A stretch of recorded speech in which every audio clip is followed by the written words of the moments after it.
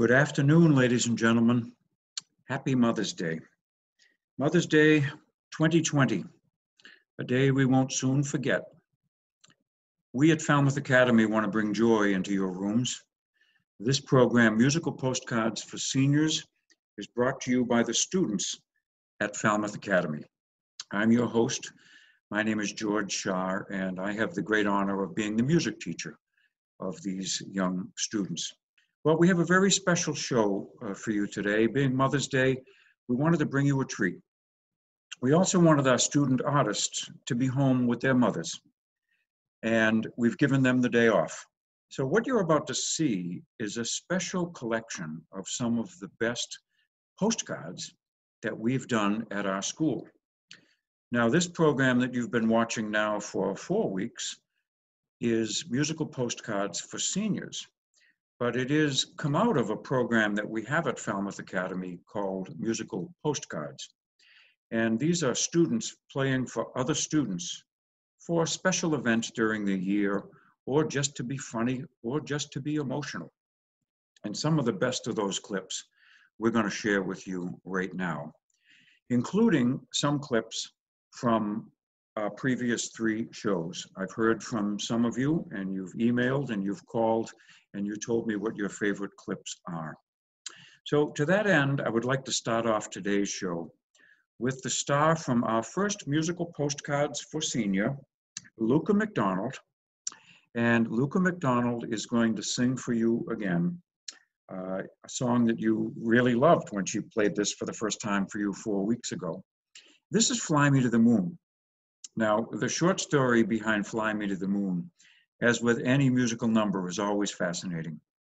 Fly Me to the Moon, originally written in 1954 and performed by Kaye Ballard, was a hit, but it really became a hit when Old Blue Eyes himself sang it in 1964. Now, something else was going on in 1964 that was big, and it was the race to the moon, of course. So, Fly Me to the Moon became forever linked with America's race to the moon. Here is Luca McDonald, Fly Me to the Moon. Fly me to the moon, let me play among the stars.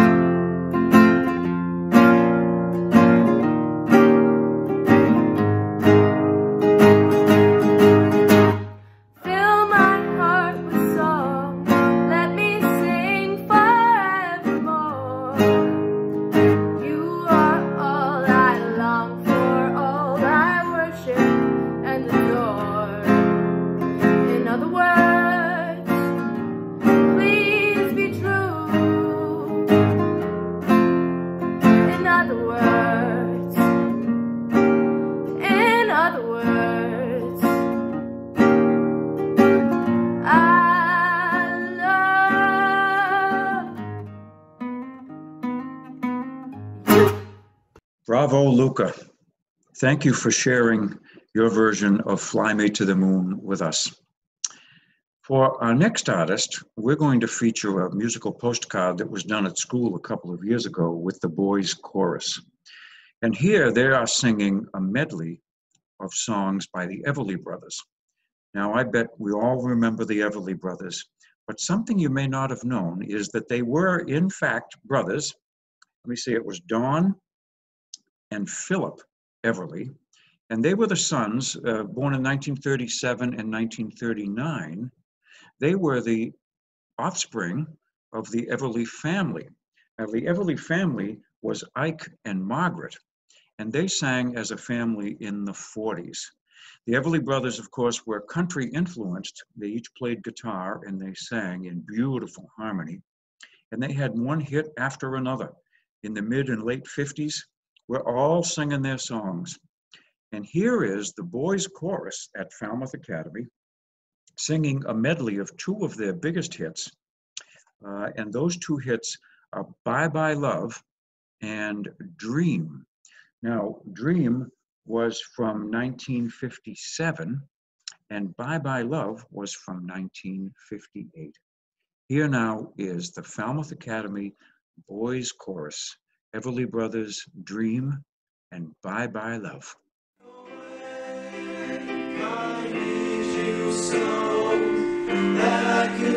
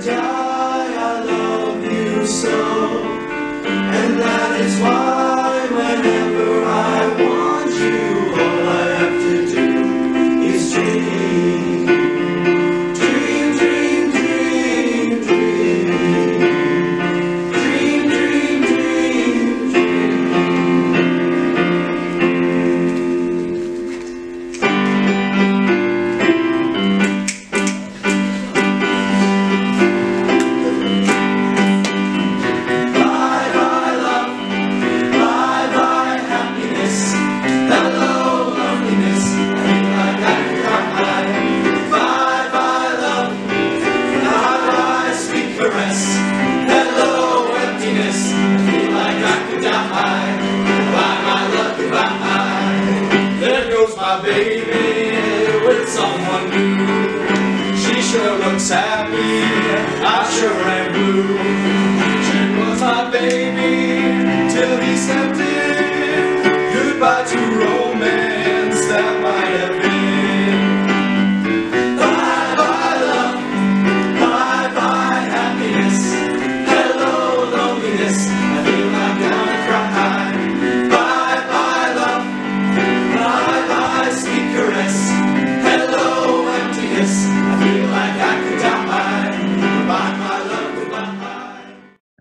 Thank you, boys chorus from Falmouth Academy. So, I- you know, I want to give a special shout out to some of our visitors who are watching us today. I know because I'm hearing from from a lot of you at various places: uh, Royal Megansett, Royal Nursing Home, Atria, uh, Dillingham Place, Cape Cod Apartments, Cape Cod Senior Residences. So, a lot of you folks are watching us every Sunday at one o'clock when this premieres. It's on uh, cable TV, on Falmouth FCTV, Falmouth Cable TV. It's on channel 13. It's also available on YouTube, Facebook, uh, and Vimeo. But all of the premieres start at the same time at one o'clock on Sunday. So you can't go on at 12:30 on Sunday to get a preview. It all starts at one o'clock on Sunday. Now, this next postcard is, was just done a couple of weeks ago, and it was done under uh, remote learning. We have a very talented young boy uh, whose name is Holden Brew. And Holden is from Martha's Vineyard, and you may have noticed that we have a lot of talent from Martha's Vineyard. There must be something in the water. I don't know. We'll have to go over there and, and, and, uh, and live. Certainly the lifestyle. And Holden is in the seventh grade. and so good is Holden that he plays in our advanced instrumental ensemble. Holden is a violinist, and he's a serious violinist. So he asked if he could do a postcard a little while ago for our remote learning. So every morning we have announcements on the computer. And he chose National Tartan Day. Tartan as in a Scottish kilt. And his family is Scottish. So he is going to play a Scottish reel for you and talk very briefly about National Tartan Day. Ladies and gentlemen, Holden Brew. Today is National Tartan Day, celebrating Scottish heritage. My dad's family is Scots. Here's our crest. I have a tie. I'm going to play the Mason's Apron, a Scottish reel.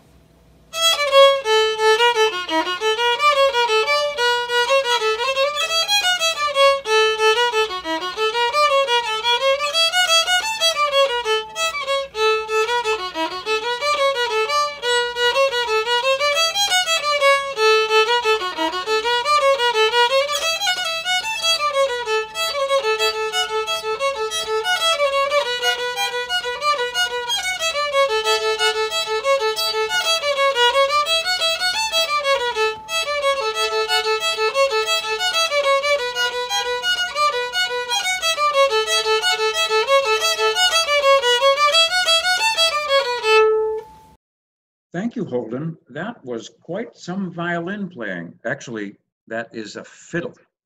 It's the same instrument, but when we're playing Scottish music or Irish music or even country music, we refer to that as a fiddle. In the symphony orchestra and the Cape Symphony Orchestra, we have 51 violins of some of the violin family, the bass viol and the viola and the cello. Actually, sometimes out of affectionate, out of affection, we call them fiddles as well. Our next segment coming up is in honor of a special year that we're having here in 2020. Some of you may know that this is the 250th anniversary of the birth of Ludwig van Beethoven. Beethoven was born on December 16th of 1770. And I know for a fact that all of the symphony orchestras and all of the classical organizations had many, many celebrations planned for Beethoven's birth. Arguably one of the most influential classical composers of all time. And he uh, wrote many melodies, many symphonies, and many, many great works for string quartets, for pianos. So I was recently approached by one of our students who wanted to celebrate and commemorate Beethoven's birthday. And I asked this young fellow what he could play. And this is a young boy from Plymouth. And he is also in middle school at Falmouth Academy. His name is Connor Currow. And Connor is going to play for you now a very flashy piece. It's very short, but it's called The Rage Over a Lost Penny. Now, the full classical name for it is called the Rondo e Capriccio, Opus 129. Rondo and Capriccio, Opus 129. Now, Connor will be playing an abridged version for you, but you will recognize this. This is often played at concerts as an encore. It is meant as a flashy showpiece to show off our young pianist's virtuosity. Ladies and gentlemen, Connor Currow.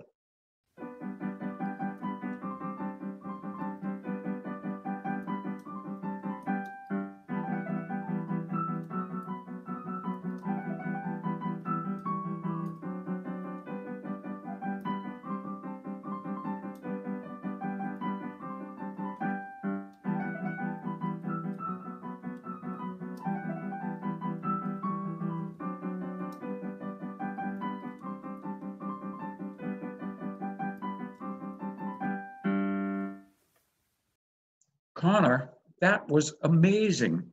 How do you make your fingers go that fast? That, was, that's why that's a showpiece. That, that truly was fantastic. Thank you, Connor, for sending that in. Again, a remote postcard. We have, we have many more things coming up in the fall at school where we're going to be saluting Beethoven's uh, birthday. Next up, we have very different kind of musical postcard. So we happen to have another two gentlemen that you haven't met yet, although you're going to meet them subsequently later on this month. Um, one of them is Taryn, and Taryn plays tenor sax. And Taryn lives here in the Falmouth area. And Taryn is a sophomore, I believe, so he would be about 16. He's not with us live today, as I said, but I do have a recording of Taryn. And Taryn is playing with a friend of his, a colleague of his, also in the band, a fellow named James Goldbach. And James, you're going to meet in about two weeks where he'll be doing his own show. James is a junior at Falmouth Academy, he plays a multitude of instruments. You're going to hear him today on the saxophone. He also plays piano, and he also plays as a duet with Luca. You remember Luca from the violin and earlier in this show singing Fly Me to the Moon. Well, James took the one of the songs that are going to commemorate this era that we're in right now of uh, Amazing Grace and put a very special spin on it. Now, as a reminder, Amazing Grace, you heard this in a previous show, uh, was written by John Newton in 1772. And John was a theologian and, and a, on, a, on a ship. And the ship off the coast of Ireland, as I recall, was in a very bad, raging storm. And he praised, prayed to the Lord to be uh, rescued from the storm. And he was. And as a result of that, he gave his life back to religion and fully devoted himself and wrote this song. Now, the, of course, Amazing Grace. Now, the rendition you're going to hear is done with four saxophones, two altos, those are the smaller saxophones, and two tenor saxophones, those are the little bit larger saxophones. But here's the catch James is going to be playing both altos, not at the same time. And Taryn is going to be playing both tenors. And what they've done is they've recorded their individual parts and then they have synchronized them into this block that you're going to see on your screen. James will be at the top playing alto one and alto two, and Taryn will be at the bottom playing tenor one as in tenor sax and tenor two. Ladies and gentlemen, James and Taryn, Amazing Grace. Thank you.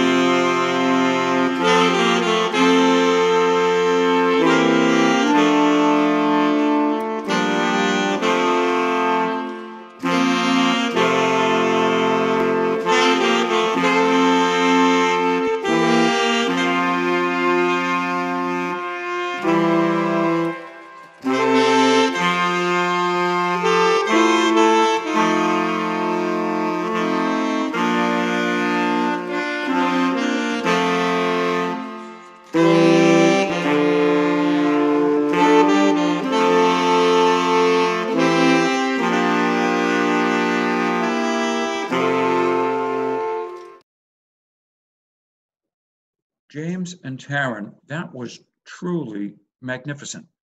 Not only does it show off your musical virtuosity, but your technical acumen. You played those individually, all by yourself in your own homes, and then you shipped them over to James' house, and James took the audio and enhanced it to make it sound good by adding reverb. And then he took the video and made that look good by adding color and sharpness and clarity. And then he put them together to give you the final product you just saw. And that's just a sampling of what our spring concert is going to look like with all of our kids in the music department. We're proud to say we have about 62 kids in our instrumental program at Falmouth Academy and another 17 in the chorus. There's 213 kids in the entire school. It's a grade 7 through 12. And it's a country day school. It's an independent school and it is just a wonderful place to work. Um, everybody is just very passionate about education, students and teachers alike, and we have a lot of fun. Now, the next piece we're going to play for you is is um, is stunningly good, and it's also very emotional. It is very short. It's only about a minute long because it's all I could capture. Now, this is from a live performance done in October of 2018 and featured in this performance are two people that you now know. And that is the goal of this show, of course. Luca McDonald on the violin and James Goldbach, who you just heard on the sax, is going to be playing piano. Now, this was an engagement done for the Downtown Falmouth Economic Development Council. And it was done in the train station in Falmouth. And I believe it was a Friday night, and there were various groups playing at different spots around town. And these young students did two concerts, each about 30 minutes long. And people came and listened and just stayed and stayed and stayed, and they didn't go to the next concert. So packed into that little train station, when I was taking this, I was in the front row or near the front row. You'll see some people moving around. But there were about 75 people packed into that little train station. And of course, that's turned into a lovely uh, sandwich shop and ice cream place and, and, and hang out. And I take the Peter Pan bus out of there when I go to New York City. It's a wonderful place. It's not open right now, of course, the bus is, but not the, not the food. So this was a, from an excerpt from that concert, October 2018. And the piece they're playing is called Hallelujah. Now, this is the Hallelujah by Leonard Cohen. And this was written by Canadian singer Leonard Cohen. And it really didn't become popular until it was recorded by Jeff Buckley. And that often happens, and you heard me talk about Fly Me to the Moon with Kaye Ballard and then Frank Sinatra. So Leonard Cohen is the Canadian songwriter who wrote Hallelujah, and Jeff Buckley is the singer who made it famous. You will recognize Leonard Cohen's Hallelujah.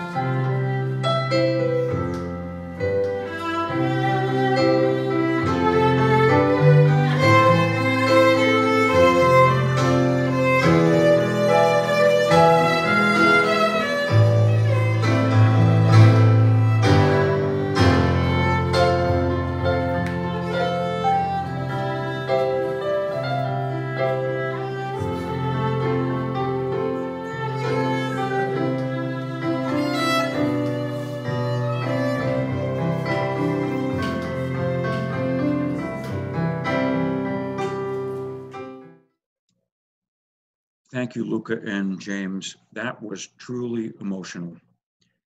I was there that night, as I indicated, taking that video, and I only wish I could have captured more for you. But everybody there was truly touched and inspired by that emotional performance. This next performance is no less emotional. It is a performance of a Scottish 19th century ballad. And the ballad is called the Skye Boat Song. And the Skye Boat Song tells a story of Prince Bonnie Charlie. Bonnie Prince Charlie. And this is the story of how he escaped capture to, to the Isle of Skye, one of the Scottish Isles. He evaded capture by the government troops. And this song is a beautiful emotional song that's usually written as a waltz. It's played in groups of three, as it is here. And the young women in our Falmouth Academy Girls Chorus sing this all the way through. You will love this from the first note to the last. And of all of the songs you're going to hear today, this is probably the one you'll be singing tonight to yourself over dinner or with your friends. So please let me also acknowledge that uh, this is uh, Camden playing uh, the cello, accompanying the girls' chorus on the Skye Boat Song by Jay Althouse.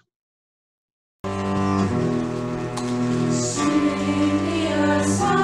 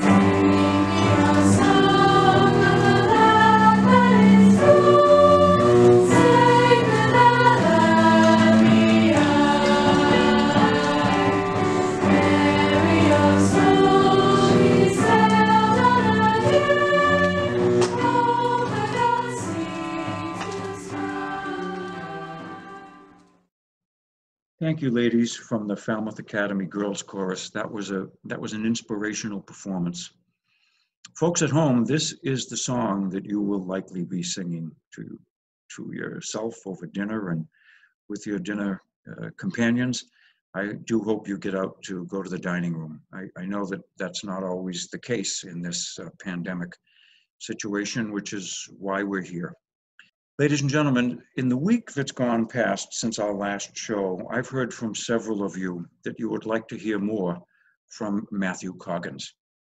Matthew Coggins, you will remember, is a freshman, ninth grade, age 14, during this recording that you'll see. But as of this airing, aged 15, his birthday just went by. And Matthew is that tall, six foot one basketball player and pianist from Martha's Vineyard. And we want to play his closing segment, one of his favorite songs. And we're going to go out with this until we see you next week at one o'clock. We have another superstar student for you to meet next week, and we will be with you through the end of May and into early June. And then, with any luck, we'll start this up again in September. Hopefully, by then, you won't need it. You'll be able to be free and be able to roam about. But in the meantime, this is George Scharr, and for Isabel Hurd in tech, and Marcus Greco, who helps with the editing, and Mrs. Borden, and Mrs. Galvin, and Charles Jodwin, and all of our student artists, we wish you a happy Mother's Day.